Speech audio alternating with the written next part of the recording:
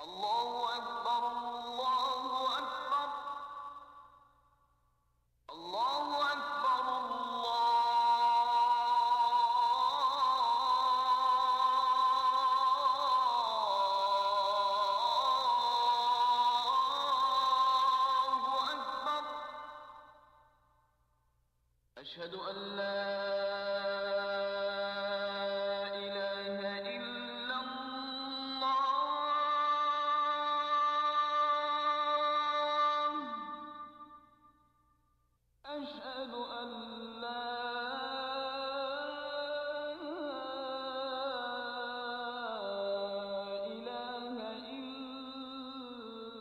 The purposes of the United States should not be doubted. The just demands of peace and security will be met, or action will be unavoidable.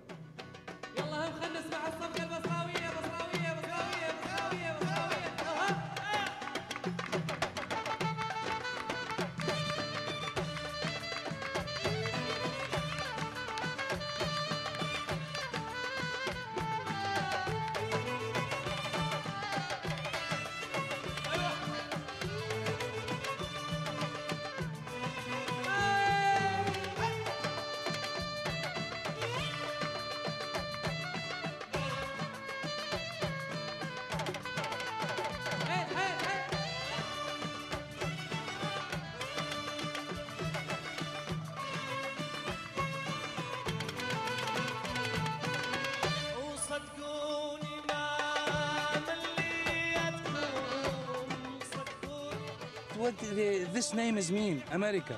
Its name bullets, tanks, war, uh, blood. If, if anyone, you ask him what you are feeling with, with the, this, this name, America. Its name is bullet, bullet, blood, tanks, damage, crash. Why did Mr. Bush insist the war?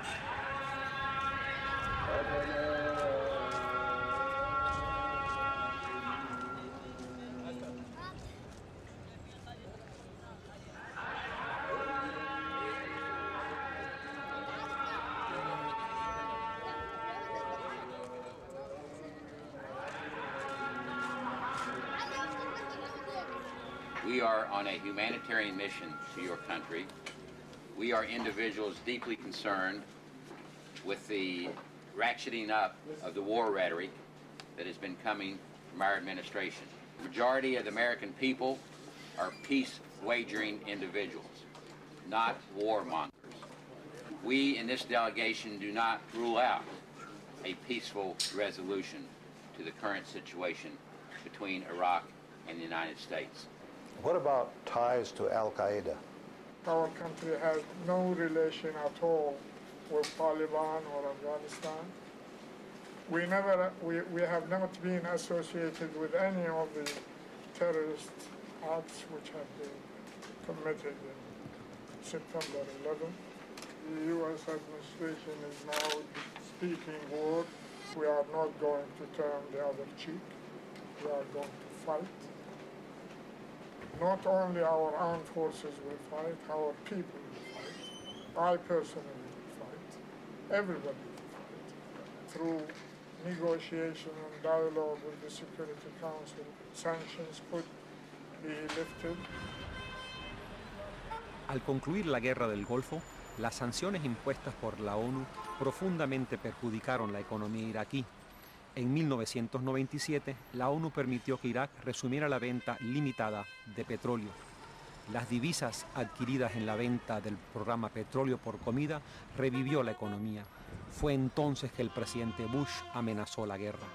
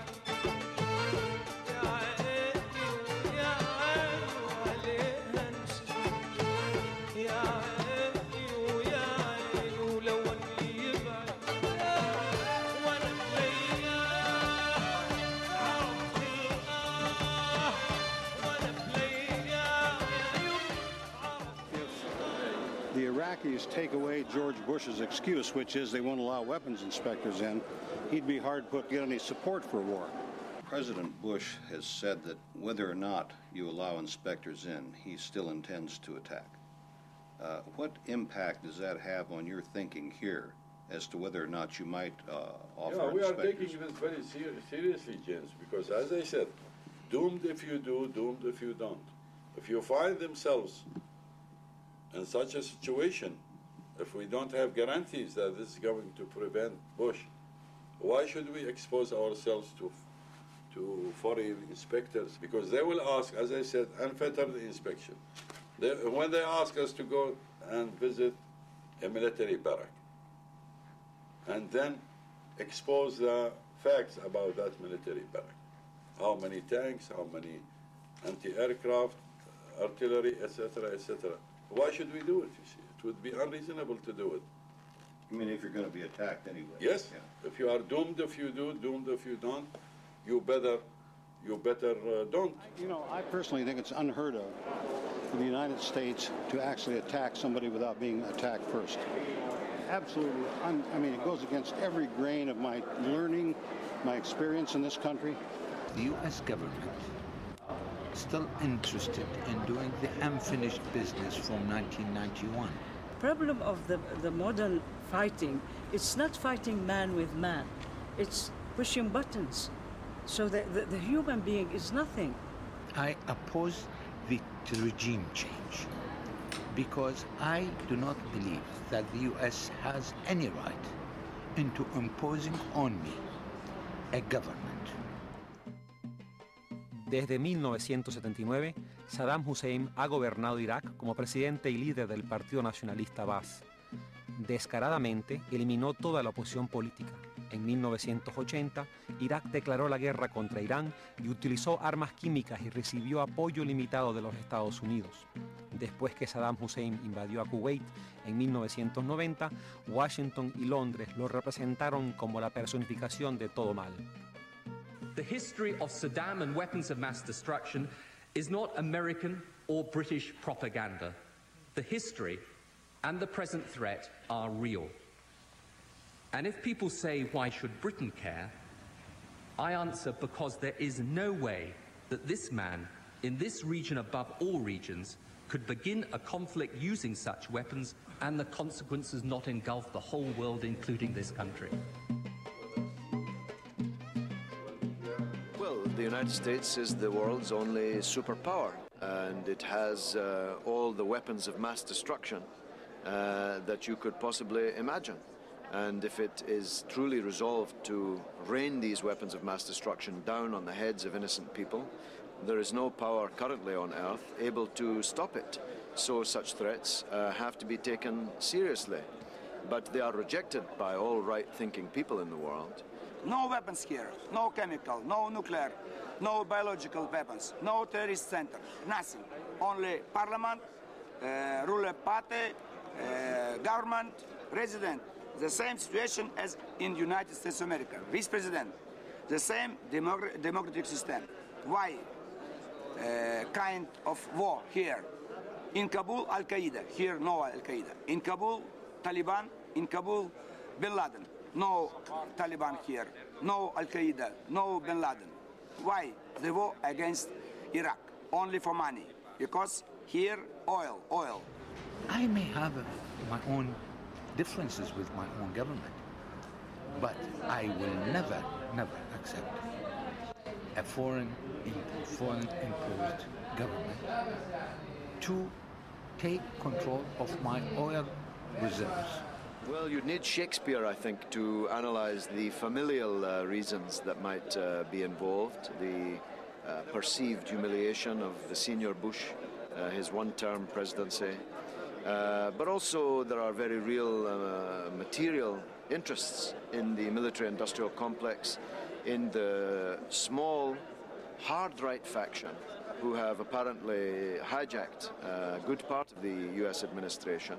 People who even Ronald Reagan kept at uh, arm's length are now sitting uh, on the arm of Mr. Bush's chair. And these people have an agenda. uh, of world uh, domination. I don't want to put it uh, too dramatically, but they really do feel that full spectral dominance, to use their chilling phrase, of the globe by the United States is an imperative. I think it's better all of us to live in peace. Only peace Nothing, only the peace, you know? Believe me, the war, everything, all of these things, you know, you're gonna lose a lot of people. The regime here is a secular regime. يعني the Iraqi constitution said that Islam is the uh, former religion in Iraq, but it's not the only religion.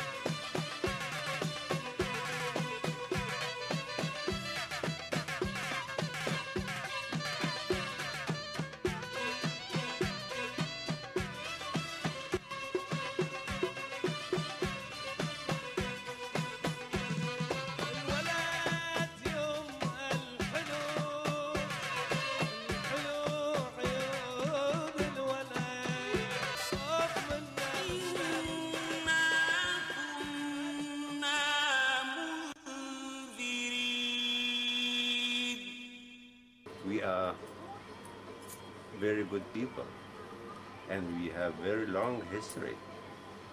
I know an archaeological site is in Iraq uh, bombed by planes of America in 1991. This happened in Ur City, and Ur City was uh, the land of Abraham Prophet.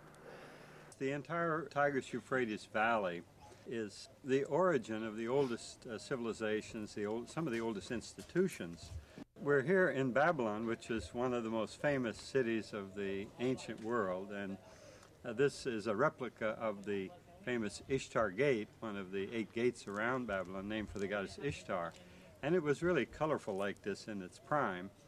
Uh, There were two periods of uh, historical occupation. One is the Old Babylonian period, which most people know the name of Hammurabi. But the second is equally famous, but even grander architecturally, and that is the period of Nebuchadnezzar II, who ruled uh, during the Neo Babylonian dynasty from the years uh, 605 to 562 BC. Uh, Here you see one of the inscriptions in the Ishtar Gate foundations, and it's cuneiform, uh, what they call Babylonian cuneiform or uh, uh, Akkadian language. And this is the sign for a god right here, Dingir. And usually these inscriptions say, I, Nebuchadnezzar, son of Nabopolassar, built this city of Babylon to the glory of my name and the honor of my majesty. Well, there have been a lot of regime changes in the history of Mesopotamia, Iraq, but it stays the same country. The people, the traditions, the continuity, the pride in their own civilization, it uh, remains. We know the difficulties of the war. I lost my brothers. I lost one of them in the war between Iraq and Iran, and the other one in the war in Kuwait. Why? We don't know why. You know, at first people seem pretty resigned. Uh, they'll tell you the United States has been bombing us for 12 years, what more are they going to do to us? And they'll shrug. But if you talk to people a little bit more, you can really see how worried everyone is. Um, I think they know that this time is going to be much, much different. And I think people here, after 20 years of war, you know, know what war means. They know it means that there's going to be bombing all over the country. They know it means that uh, everything is going to get shut down electricity, phones, water, um, sanitation. I think they know it means that a lot of them are going to die. We have to defend ourselves. What can we do? En 1991, bombarderos de los Estados Unidos destruyeron la planta de tratamiento de aguas negras en Bagdad. Las aguas negras plagaron el río Tigris con resultados dañinos para la salud del pueblo iraquí. El gobierno reparó el daño, pero el remordimiento entre la población es palpable.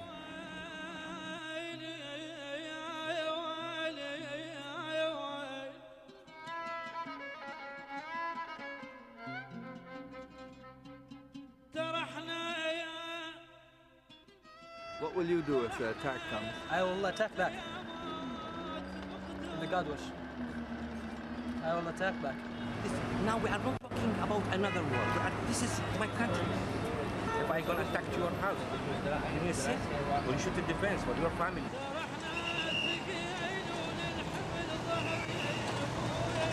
What about weapons of mass destruction?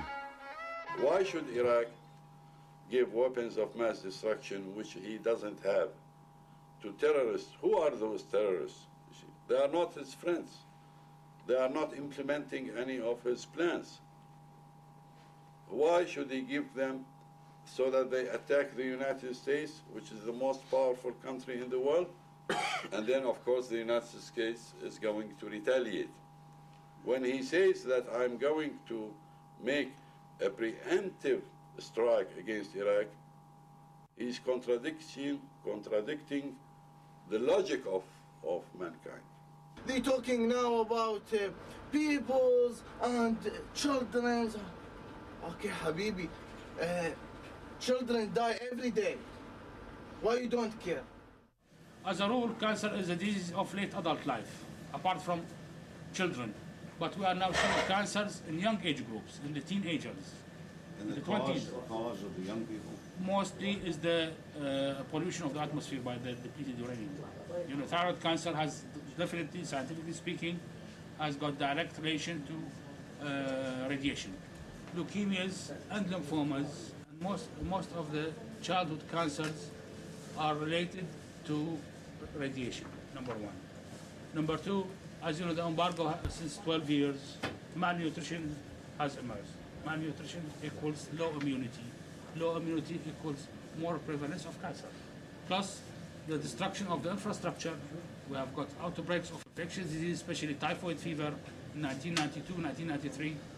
And scientifically speaking, especially in children, you expect to have malignant intestinal lymphomas 10 to 12 years later because continuous stimulation of the of the small bowel with this antigen will uh, by the end with, with 10 to 12 to 15 years you are- expecting now an outbreak of uh, uh, malignant intestinal lymphoma People in your government, what they want from my government? What they want? You know what they From say. America to Iraq, how many miles? More What? than 10,000 miles. Well, what they want? in the history of, of empires, all the empires needed the good attitude, the good feeling towards it from the countries that they were under its influence. The United States of America is most hated than any time before in the region. You can find that in the streets of Amman, the streets of Cairo, Damascus, Bahrain, Riyadh, and the streets of the countries who have had very good relations with the United States. If America is going to attack Iraq, this sentiment or those sentiments in the Arab world will reach their climax. and there are two bombs to hit this place in 13 of February 91 at 4 o'clock early morning. And what happened when the bomb penetrated? Make very high explosion, noise and pressure, and killed immediately 408. After four minutes, the second one burned everything here. What was the purpose of bombing the shelter? I don't know, but uh, United States in that time said we bombed this place because for military operation. So that reason bombed this place. But after four days, the Pentagon said we bombed this place wrong and make mistake, and we have all the information Apologize and said sorry. How do you feel when they say I apol- we apologize? Too late. Too late. And I ask you, ask also, why make another war? I ask always, there are no reason to make another war. I'm sure. الله على اسمران الله شقد حلو عيونه الله على اسمران الله الله على اسمران الله شقد حلو عيونه يا خوف من الحساد الله يا خوف من الحساد الله خاف يحسدونه الله على اسمران الله In England, we say that uh, Iraq's move has shot the fox of the war party. And if you shoot the fox, you can't also hunt it. Uh, and that fox is now uh, shot and dead. Uh, so we must hope that uh, the rest of the world uh, accepts this in uh, good grace.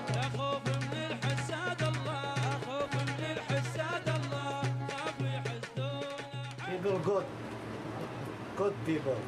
U.S. government not good.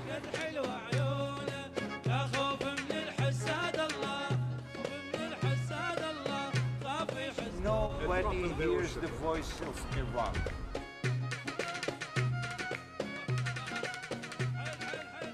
So what do you think is going on?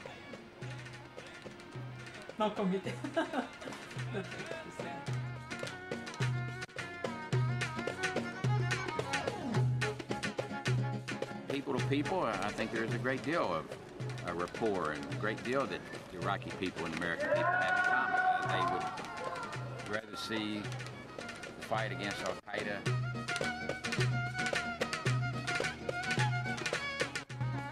If there is an attack by America with the power that the American armed forces have, there would be thousands upon thousands of Iraqi civilians killed. Uh, and I think that's a wrong thing.